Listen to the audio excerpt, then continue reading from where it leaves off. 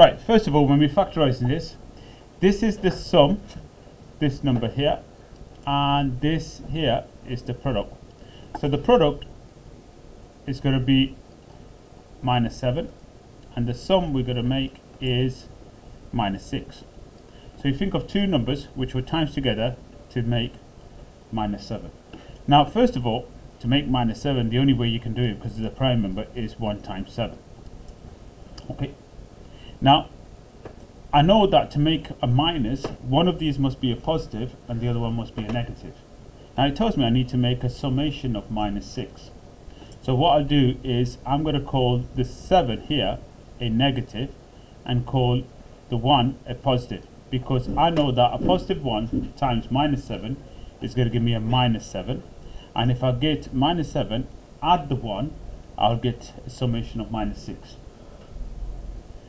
next thing is to do is when you factorize in quadratics is first of all you open up two brackets right next to each other. You put x in each corner. And then these numbers here the 1 the positive 1 and the minus 7 it doesn't really matter which order you put it in. I'm going to put the plus 1 there and put the minus 7 there. Okay? And that is factorize we're done what you could do don't do this in the exam but I'm going to do this now just to prove a point because last week all we've done is expanding brackets. If I expand the brackets can you all pay attention please? Uh, x times x you'll get x squared. X times minus 7, you get minus 7x. 1 times x is 1x, it's just x. And 1 times minus 7 is going to give me minus 7. And then when I'm collecting those these together, I'll get x squared minus 7 plus 1. Minus 7 plus 1 is minus 6 x, and that's minus 7. So I do get, if I expand it, I do get this. So I know for a fact I've done it right. Okay? This is the factorized form of that. So if I'm factorizing that, that would have been x plus 1 multiplied by x minus 7. Okay? Let's just have another go here. Okay? Just, just give me some time. Let's have a look at it. First of all, think of this number as the product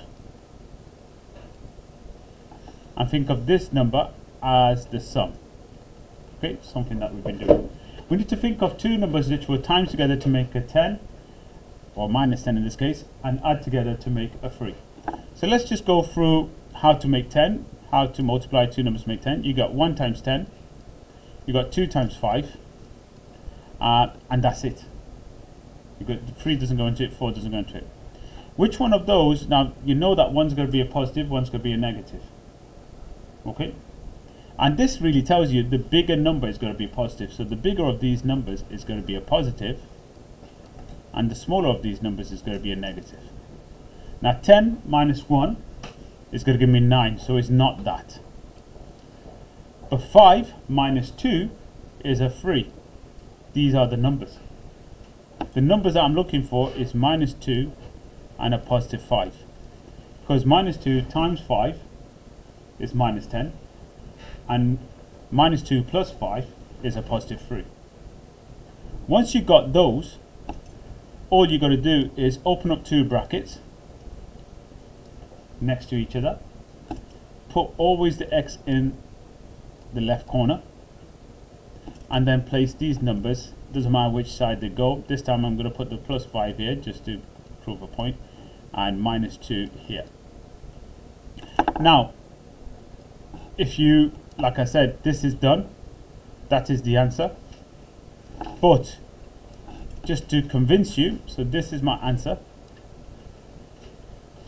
If you want to check it, and don't do this in the exam because they might mistake it as the answer, you can do it on a scrap piece of paper. If I expand x plus 5, which we've been doing last week, x minus 2, it should give me this result, if I've done it right. Let's just double check it x times x is x squared. x times minus 2 is minus 2x. 5 times x is 5x. And 5 times minus 2 is minus 10. If I collect these middle terms together, minus 5, uh, minus 2 plus 5 is plus 3x.